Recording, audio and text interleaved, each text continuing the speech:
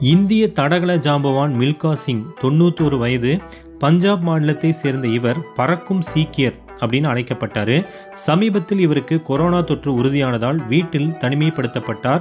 திடீரென இவரது உடலில் ஆக்சிஜன் அளவு குறைந்ததால் பஞ்சாபின் மொகாலியில் உள்ள மருத்துவமனையில் சேர்க்கப்பட்டார். இதிலிருந்து தேறிய மில்கா சிங் சமீபத்தில் டிஸ்சார்ஜ் செய்யப்பட்டார். நான்கு நாட்களுக்கு பின் இவரது உடலில் மீண்டும் ஆக்சிஜன் அளவு குறைந்ததால் சண்டிகரில் உள்ள மருத்துவமனையில் தீவிர சிகிச்சை பிரிவில் அனுமதிக்கப்பட்டார்.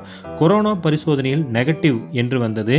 ஆனால் இவருக்கு காய்ச்சல் இருந்தது தவிர ஆக்சிஜன் அளவும் திடீரென சரிந்தது. இந்த நிலையில் நேற்று முன்தினம் இரவு பதினொன்றரை மணியளவில் கொரோனாவுக்கு பிந்தைய பாதிப்பால் காலமானார். இவருக்கு மூன்று மகள்கள் உள்ளனர். இவரது மகன் ஜீவ் மில்கா சிங் சிறந்த கோல்ஃப் வீரர். இவரது மறைவு இந்திய தடகள அரங்கில் பெரும் சோகத்தை ஏற்படுத்தியுள்ளது.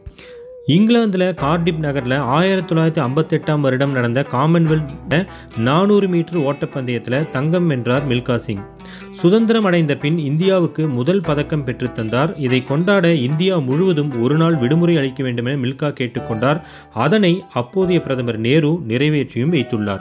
ஆசிய விளையாட்டில் நான்கு தங்கம் கைப்பற்றியுள்ளார். இதன் மூலம் காமன்வெல்த் ஆசிய விளையாட்டில் தங்கம் வென்ற முதல் இந்தியரானார்.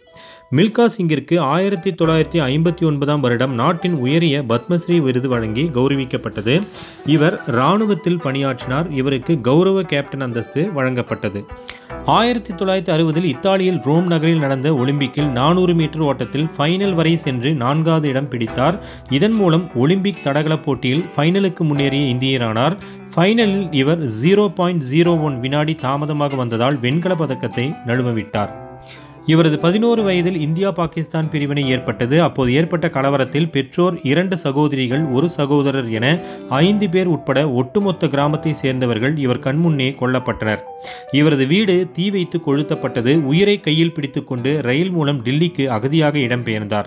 இங்குள்ள தனது மற்றொரு சகோதரி வீட்டில் சில காலம் தங்கினார். பின் இந்திய இராணுவத்தில் சேர மில்காவின் வாழ்வில் ஒளி பிறந்தது. பாட்டியாலா விளையாட்டு பல்கலைக்கழகத்தில் மில்கா சிங் பெயரில் இருக்கை அமைக்கப்பட உள்ளது. இவரின் வாழ்க்கை பாக் மில்கா பாக் என்ற பெயரில் சினிமாவாக எடுக்கப்பட்டுள்ளது. இவரது வாழ்க்கை நிகழ்ச்சிகள் ரேஸ் ஆஃப் மை லைஃப் என்ற பெயரில் புத்தகமாகவும் வெளிவந்துள்ளது.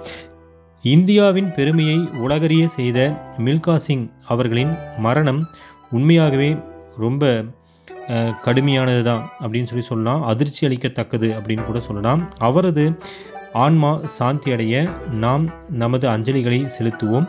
நன்றி வணக்கம்.